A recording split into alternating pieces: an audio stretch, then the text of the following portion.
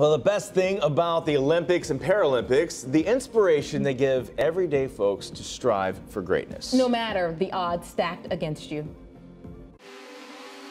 Great start from Mike Schultz at number five. He absolutely rocked it to the first corner there. Mike Schultz loves action sports. He was living his dream as a professional athlete when a 2008 snowmobile accident resulted in the amputation of his leg. It threw us all into a tailspin for a little bit and, you know, really unsure what was next. With family support and determination, Mike designed his own prosthetic device and started his own company. He eventually returned to racing and discovered snowboarding. I remember seeing these athletes on the on the uh, cereal boxes around the games time, and I'm like, wow, that that would be incredible. And and here we are in 2018. I'm teamed up with Kellogg's, and I'm on the cover of Frosted Flakes cereal, like next to Tony the Tiger.